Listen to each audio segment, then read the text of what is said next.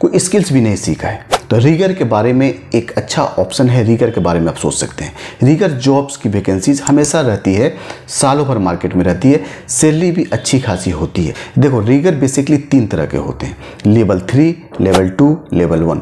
जब आप स्टार्टिंग में आप जाओगे, बिल्कुल फ्रेशर हो पहली बार आपने कहीं से काम सीखा है ट्रेनिंग आपने किया है तो लेवल थ्री आपको दिया जाएगा। उसके बाद कुछ सालों के बाद, एक साल आप काम कर लोगे तो आप ग्रेड होकर के लेवल टू में आप आओगे, उसके बाद लेवल वन में आओगे।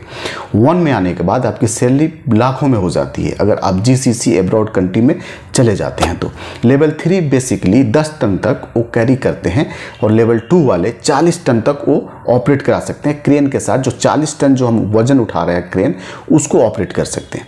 लेवल वन वाले वो क्रिटिकल लिफ्टिंग कराते हैं, जो बहुत ही डेंजर जोन में है क्रिटिकल है, और जो लिफ्टिंग प्लान को वही अरेंज करते हैं, वही बनाते हैं लेवल वन वाले।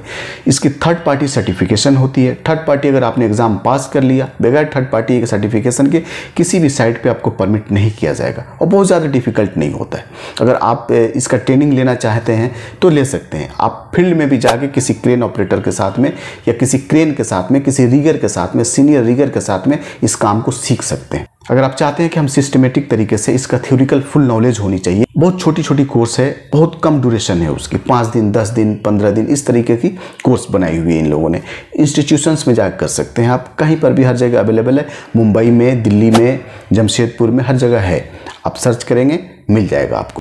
अगर आप बिल्कुल फ्रेशर हैं, बिल्कुल नए हैं तो आपको 1800 रियाल तक मिल जाएगा और ओवर टाइम इसमें अच्छा खासा चलता है। मतलब जब तक क्रेन लिफ्टिंग कर रही है, जब तक साइड पर क्रेन लगी हुई है, तब तक आपकी ड्यूटी है रिगर क्योंकि रिगर के बगैर क्रेन लिफ्ट ही नहीं कर सकता रिगर ही जान होते हैं। तो ये एक काम है, इस पर आप कंसिडर कर सकते हैं।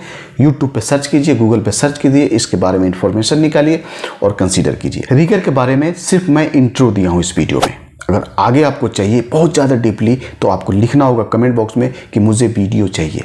इस वीडियो को लाइक करना होगा और पहली बार है तो इस चैनल को सब्सक्राइब करना होगा। और बेल आइकन लोग ऑल पर नहीं दबाते हैं।